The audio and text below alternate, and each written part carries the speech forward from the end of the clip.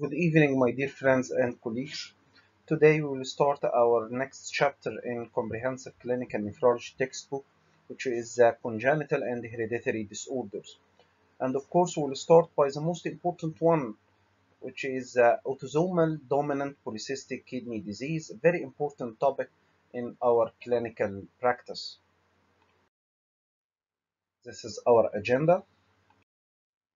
We'll start by the definition. Autosomal dominant polycystic kidney disease, from its name, it's an autosomal dominant disorder. It's a genetic disorder characterized by inherited as an autosomal dominant pattern. It is a kidney disease characterized by multiple, multiple bilateral renal cysts. So it is a multi-system disease characterized by mainly affecting the kidneys in the form of multiple bilateral cysts, associated also with cysts in other organs, especially the liver, pancreas, and arachnoid membranes. What about the inheritance or the genetics? As we said, it is inherited as an autosomal dominant manner. It is characterized by mutations in genes called PKD1, polycystic kidney disease 1, located on chromosome 16. This is very important for the exam. This is a very common question. PKD1 gene located on chromosome 16 and PKD2 located on chromosome 4. Again, PKD1 chromosome 16 and PKD2 chromosome 4. These genes, from its name, are responsible for the synthesis of for synthesis of proteins called polycystin 1, PKD1 will, will uh, is responsible for polycystin 1 and PKD2 is responsible for polycystin 2. Both these proteins, polycystin 1 and 2, are expressed throughout the, uh, throughout the body. PKD1 mutation are characterized by being, by being more common and causing more aggressive disease. This is also a common question. PKD1 compared to PKD2 mutations, PKD1 mutations are much more common and causing more aggressive disease. This is also, there is uh, mutations in a third gene, recent one called GANAB protein, which have been identified in families with mild forms of polycystic kidney. This is a, a, maybe a question either in the fellowship or in the European board exam. Third new gene mutation called GANAB. What about the pathophysiology? Polycystin 1 Polycystin 1 is a membrane receptor. Polycystin 2 is a calcium permeable channel. So, polycystin 1, which is a membrane receptor, will co-localize with polycystin 2, which is a calcium channel. Both are present in the cilia, in the cilia of the epithelial cells of the renal tubules. So again, both these proteins are present in the epithelial cells of the renal tubules. In the cilia, polycystin 1 is a receptor, polycystin 2 is a calcium channel. Both form a complex called polycystin complex. And this complex acts as an extracellular mechanosensor. It acts as a sensor, as a sensor for the epithelial cells regulating or which helps in the regulation of cell proliferation, adhesion, and differentiation and maturation of the epithelial cells. So again, polycystin 1 and polycystin 2 form the polycystin complex, acting as a sensor or a mechanosensor in the renal epithelial cells, in the epithelial cells of the renal tubules, helping in the regulation of cell proliferation, adhesion, and differentiation. While when there is mutation in PKD1 and PKD2, causing defective synthesis of both these proteins, polycystin 1 and polycystin 2. So it will cause failure, failure of this complex to be formed, resulting in dysregulation, dysregulation in the cell turnover, and most importantly, uncontrolled cell proliferation. So defective polycystin complex, this will cause uncontrolled cell proliferation in the kidney. A very common question also, what is the percentage of the affected of the affected nephrons that will uh, uh, undergo cystic transformation this cystic transformation will be present in only less than 1% of the, of the nephrons. This is a common question in the fellowship and European board exam.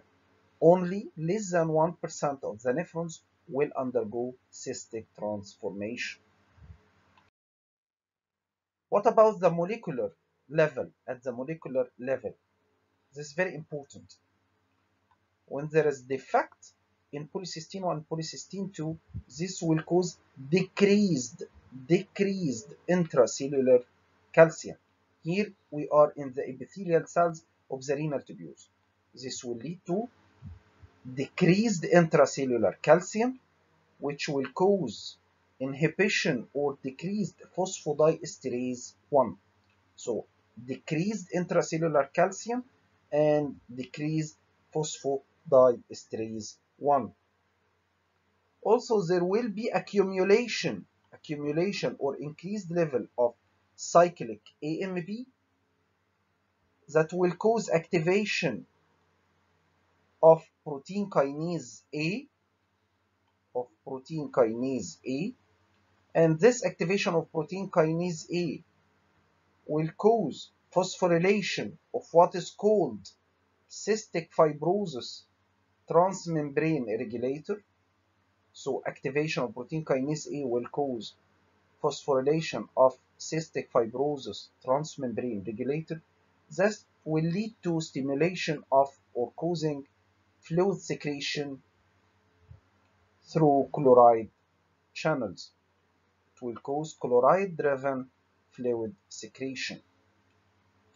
Also, activation of protein kinase A will cause will cause activation of what is called sarcoma proteins, also activation of mitogen activated protein kinase, and activation of mammalian target of rapamycin that will lead to, at the end, uncontrolled cell proliferation. So again, what is the summary? At the molecular level, what will happen in the renal epithelial cells? Decreased intracellular calcium, decreased phosphodiesterase 1, accumulation of cyclic AMP, activation of protein kinase A that will lead to phosphorylation of the cystic fibrosis transmembrane regulator and chloride-driven fluid secretion. Also, protein kinase uh, activation, protein kinase A activation will activate sarcoma proteins, mitogen, Uh, uh, mitogen activated protein kinase, and mammalian target of rapamycin activation that will lead to finally cell proliferation. What about the epidemiology? Autosomal dominant polycystic kidney disease occurs worldwide and in all races. It's a common, a very common congenital disorder and inherited disorder. And with a prevalence, prevalence of the genetically affected individuals at birth of about 1 to uh, in each 400 up to 1 in each 1000 affected individuals. In most patients, as we see in our clinical practice, the diagnosis is made decades later, not at birth, and some patients are never diagnosed. At any point of time, only a fraction of the genetically affected individuals are aware of having the disease. Usually, most of them are asymptomatic. And of course, patient can present with a family history of the, uh, of the disease in their uh, family and a careful history of, for renal disease, hypertension, stroke, or premature death should be obtained. As we said before, the inheritance is autosomal dominant, so 50%, 50% of the offspring should be affected. But also, an important note that 25 to 40% of new patients have no no family history. 25 to 40 to 40% of the new patients will have no family history and are caused by new mutations. What about the clinical manifestations? We will start by the kidney. May, uh, patients might present with flank or loin pain, flank or loin pain, might present with hematuria, might present with hypertension, nocturia and polyuria, which results from loss of the urinary concentrating ability of the tubules, and low-grade proteinuria. And the most common manifestations are pain, hematuria, and hypertension. Of course, as we said in the kidney, the kidney increase, uh, renal size increase with age, and renal enlargement usually occurs in 100% of the patients. The severity of the structural abnormality, of course, will correlate with the manifestations.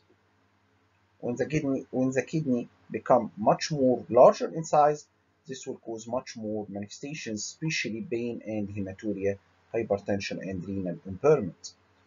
When the kidney reaches a massive size, it may lead to compressive symptoms and compression of the nearby, uh, nearby structures, especially the inferior vena cava or the GIT.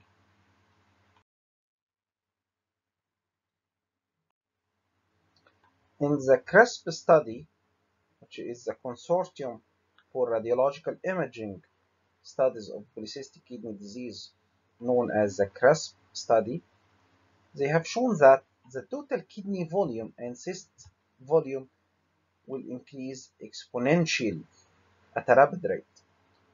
And the rate, the rates of growth in this study was con constant at, at about of 5.3% per year. And this might be a question. So in the CRISP study, the rate of growth for the cyst in the kidney was about 5.3% per year. But in our practice, as we know and as we see in our practice, the rate of growth is highly variable from one patient to another. One patient might progress very rapidly and the others might have very benign course over a long period of years. And usually the baseline total kidney volume predict the, the subsequent rate of increase in the renal volume and decline in GFR.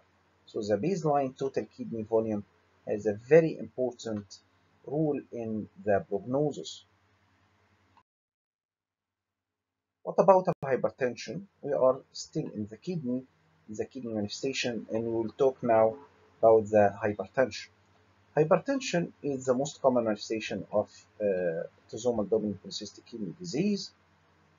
A major contributor to the renal disease progression, as in all of the renal diseases, uh, hypertension is a major, major risk factor for progression and cardiovascular morbidity and mortality. Microalbuminuria, proteinuria, and hematuria are uh, uh, are risk factors for uh, renal decline or renal progression are much more common in hypertensive patients compared to non-hypertensive patients and also hypertensive, hypertensive patients have increased morbidity from the intra from valvular heart disease and importantly intracranial aneurysm. So the conclusion is that hypertension is a very common manifestation a very important role in renal disease progression and cardiovascular mortality. What about CKD and reaching end stage uh, renal disease in autosomal dominant polycystic kidney disease? In most patients, as I'm, uh, I just said, the renal function, renal function is maintained within the normal range for a very long period, despite the increased growth in the renal cyst, usually until the fourth and sixth decade. And uh, that's what we see in our patients. Despite the very huge size of the kidney, usually, usually the kidney will maintain its function for a much longer period, usually to the fourth and sixth decade. When the kidney function starts to decline, the kidneys are usually very large, are very large in size. And the average rate of GFR decline, this is important, this is important. The average decline in GFR is about 4.4 to 5.9 milli per minute per year. This is an important note to know.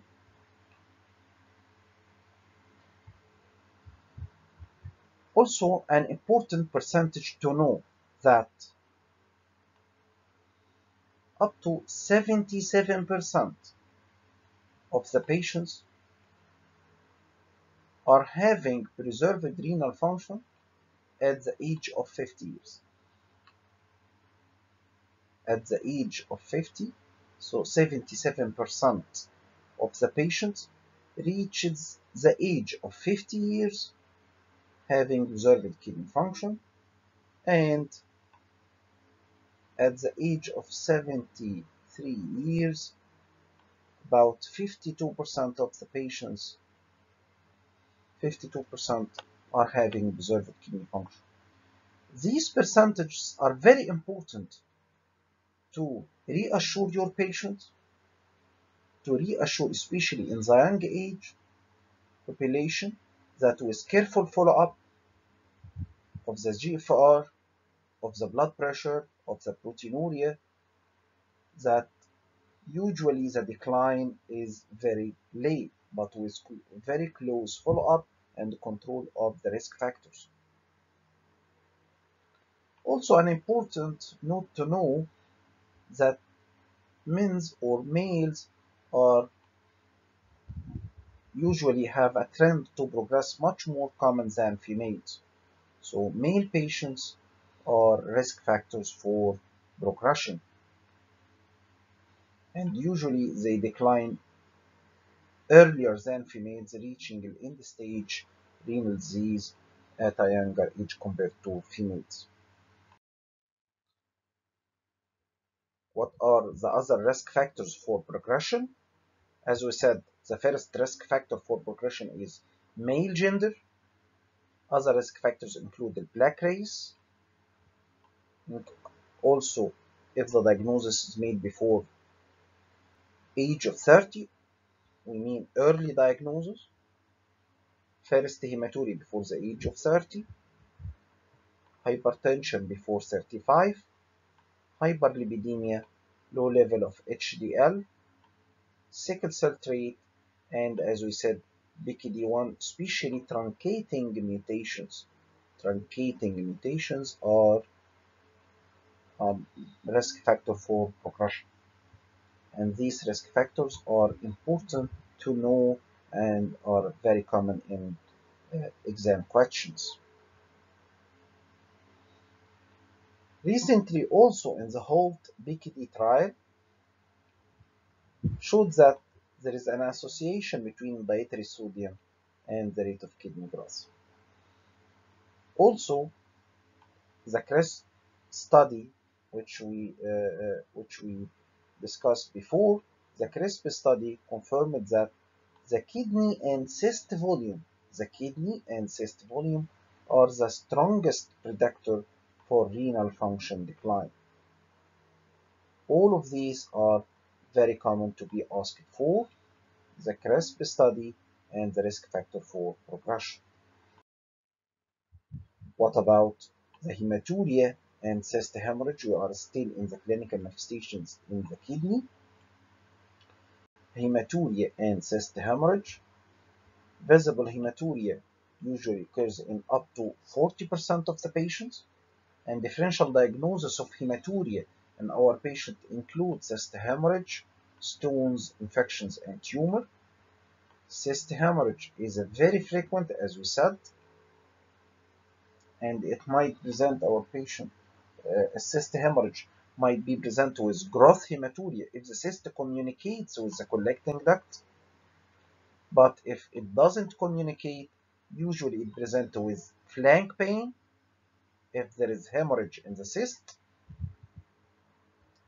or if this if the cyst rupture, unfortunately it might cause retroperitoneal hemorrhage that can be significant and life-threatening requiring blood transfusion. But in most of the cases if there is hemorrhage in the in, in a cyst usually it is self-limiting resolving within 2 to 7 days. But if the symptoms persist in the form of hematuria and flank pain longer than one week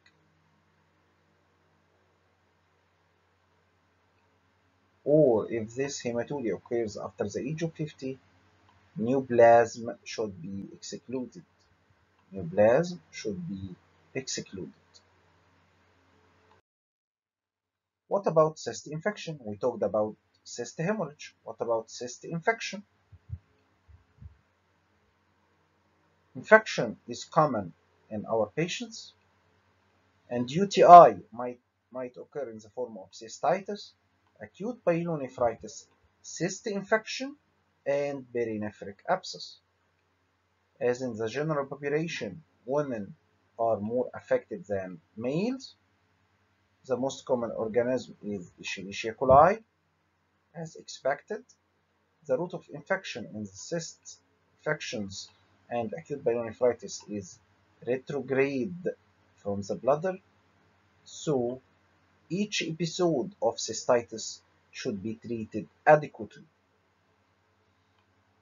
CT and MRI are very sensitive to detect complicated cysts. So to diagnose or to, to for early diagnosis of cyst infections, cyst hemorrhage, CT and MRI are very helpful. What about the stones? What about the stones? A very important number. Stones will occur in about 20% 20% of autosomal dominant uh, polycystic kidney disease patients. Very important to know. And the stones usually are composed of the common stone types in uh, autosomal dominant PKD. The common stone types include uric acid, calcium oxalate, or both. Uric acid, calcium oxalate, or both. Uric acid stones are very common in our patients. CT urography. CT urography is now the investigation of choice in many centers compared to IV, uh, IV urography because CT, CTUT or CT urography is much more sensitive in detecting small or radiolucent stones, also for differentiating stones from tumors, which are very important to, uh, to do. A new modality called dual energy CT is increasingly used to distinguish calcium from uric acid stones and this might be questioned in the board exam. Dual energy CT can differentiate between calcium and uric acid stones. Now we will talk, we, uh, we finish the kidney affection. The kidney might present, as we said, to, uh, to summarize, by pain, loin pain, might present with hematuria, either cyst hemorrhage, cyst infections or UTI, or, and stones. All of these can occur, and of course, the kidney might present with hypertension, and CKD or GFR decline, and we discuss each one in details. What about the liver? The liver, usually, of course, the liver will be affected by the form of cyst, like the kidney, and is called polycystic liver disease. And the liver is the most common extrarenal manifestation. The most common extrarenal organ to be affected is the liver. And also it is associated with PKD1 and PKD2 mutations. Hepatic cysts are rare in children and their incidence increases with age. Women who have multiple pregnancies or taking oral contraceptive pills or estrogen replacement therapy usually have a much worse disease. So again, what are the risk factors for having a more aggressive liver affection? Women with multiple pregnancies or taking uh, or estrogen replacement therapy. Usually, polycystic livers, patients with polycystic liver are asymptomatic, but symptoms can occur. Of course, can occur as a mass effect from the cyst, cyst causing mass effect compressing other organs, or due to affection of the cyst itself, either in the form of hemorrhage or infection. Mass effect from uh, the cyst or compression might present with dyspnea or sodnia, early satiety, GERD, low back pain, uterine prolapse, and rib fractures.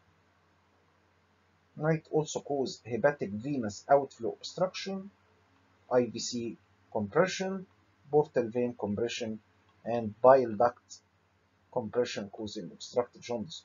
All of these are due to the mass effect or compression uh, manifestations.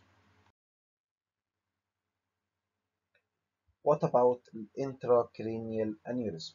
And this is very, very important to know in details. As we said, in stones to be occurred in 20%, it is very important to know that intracranial aneurysm are usually occurring about 8% of the patients. Intracranial aneurysm are present in 8% of the patients. And this prevalence or this frequency is variable. If there is negative family history, negative family history for intracranial aneurysm, this incidence decreased up to 6%. But if there is a positive family history for intracranial aneurysm, the incidence increases up to 16%. So the frequency, and usually it is a, a, a, a frequent question by the patients or the relatives. Do I will get or what is the percentage to have intracranial aneurysm? You should tell your patient that the average is 8%. If you have a positive family history, it will increase up to 16%. If there is a negative family history, it will decrease to 6%. Very common question. Most of, if the patient have intracranial aneurysm, usually they are asymptomatic or they might present with focal findings like cranial nerve palsy and convulsions. Cranial nerve palsy and convulsions. And most importantly, what we fear from is rupture of intracranial aneurysm causing hemorrhage, intracranial hemorrhage. As expected, the rupture rate increases with the size, ranging from only 0.5% point, the rupture rate is 0.5% in aneurysm less than 5 millimeters up to 4% rupture rate in aneurysms larger than 10 millimeters. and also these numbers are very important. So in aneurysm less than 5 millimeter, the rupture rate is 0.5 percent. Larger than 10 millimeter, the rupture rate is 4 percent. And if the rupture occurs and hemorrhage unfortunately happens, the risk the risk for severe morbidity and mortality usually between 35 and 55 percent. The mean age of rupture of the intracranial aneurysm is 39 years.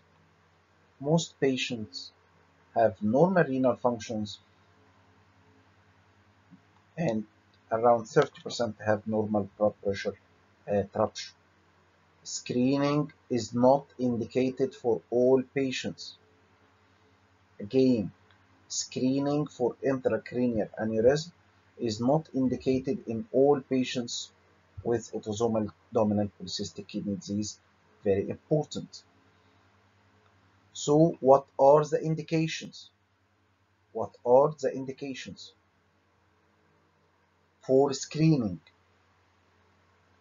The indications include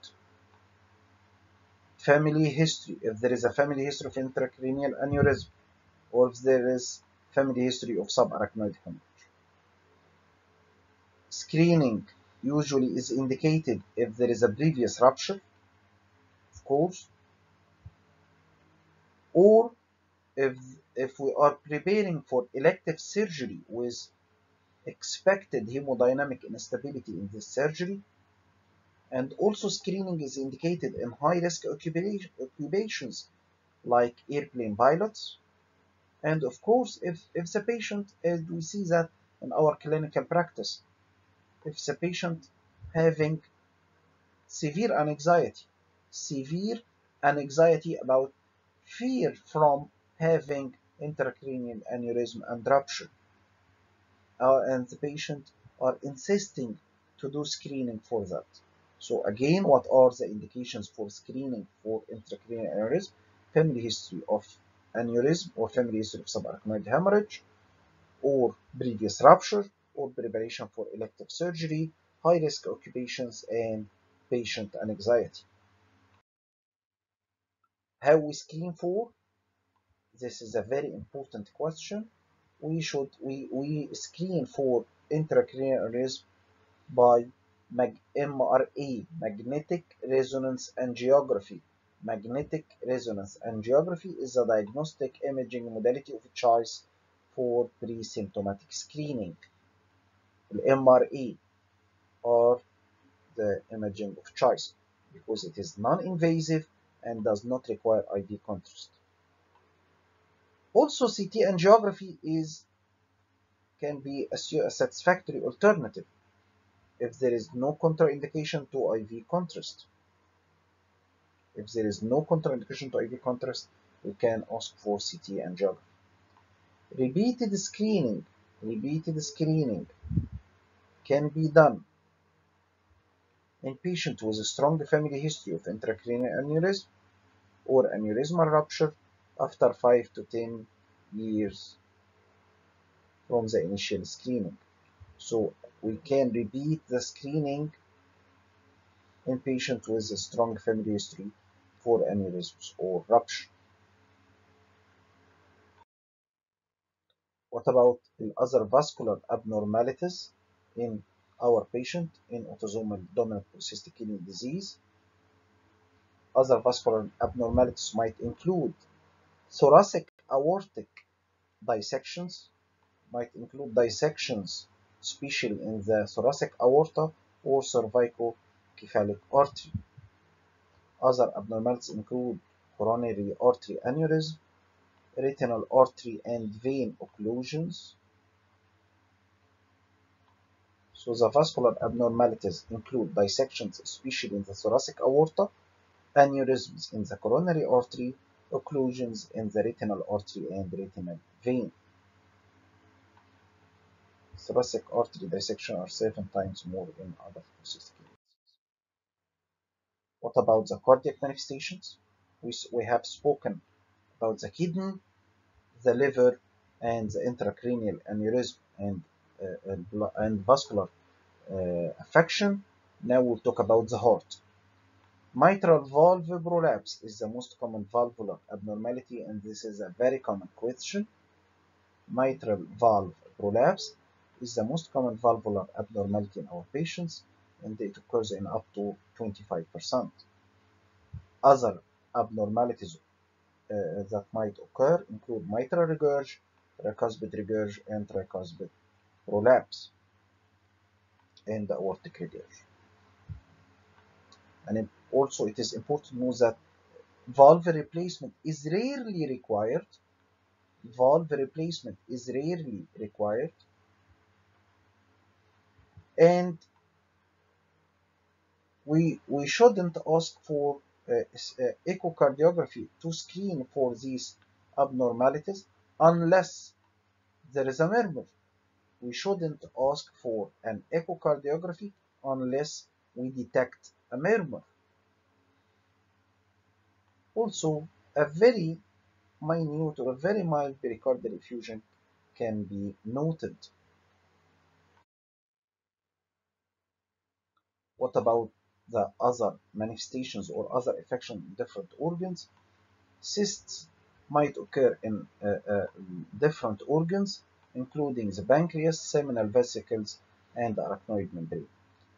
The seminal vesicle, seminal vesicle cysts, cysts in the seminal vesicles are usually multiple and bilateral and are present in 40% of the patients.